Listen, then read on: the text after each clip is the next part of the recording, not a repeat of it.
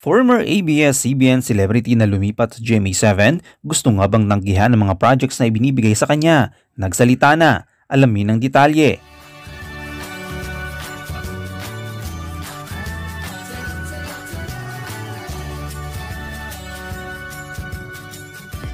Welcome to busygram.net. Huwag kalimutang i-like, i-share, i-follow at i-subscribe ang busygram.net para maging updated ka sa mga latest happenings. May mga shoutouts din tayo kaya tutok lang hanggang sa huli. Sa paglipas ng mga buwan ay marami-rami na rin mga kapamilya stars na umalis sa ABS-CBN at lumipat sa ibang network gaya ng GMA7 at TV5.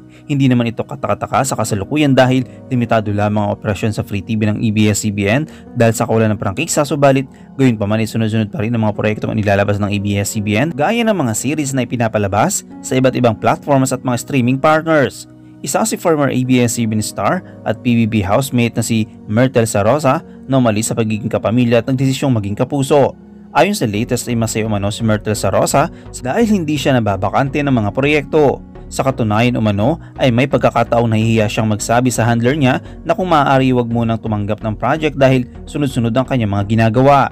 Bukod kasi sa mga guestings niya sa GMA7 at sa katatapos lamang na nagbabagang luha, bahagi rin si Myrtle sa Rosa ng Love Die Repeat na General Mercado at Sian Lim.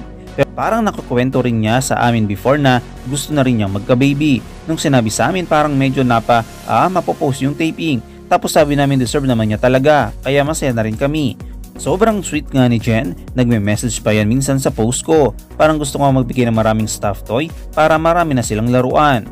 Bukod sa tuloy-tuloy na proyekto sa GMA7 ay isang blessings din ang pag-renew ng kanyang kontrata sa isang brand ng sanitary napkin na kanyang ini-endorso.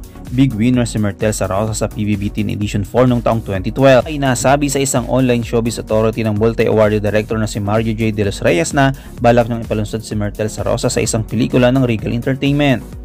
Matatandaan na February 2020 na maging opisyal na kapuso si Myrtle Sarosa. Sa pagpirma niya ng exclusive contract sa GMA7, ay present noon sina Senior Assistant Vice President for Alternative Productions Gigi Santiago Lara at GMA Artist Center Senior Talent Manager Daryl Zamora.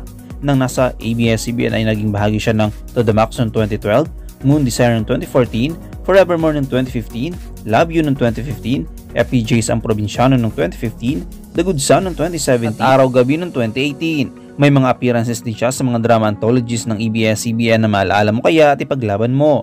Naging bahagi din siya ng EBS-CBN project movie na Black Z na naproduce ng Star Cinema.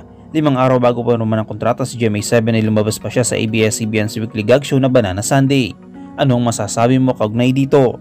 Shoutout tayo kina Raynor Espiritu, kay Gracia, kay Evelyn Trinidad at kay Maria Celeste Pahet. I-comment mo lang ang inyong opinion sa comment section at huwag kalimutang i-like, i-follow, i-subscribe ang busygram.net para sa mga latest happenings.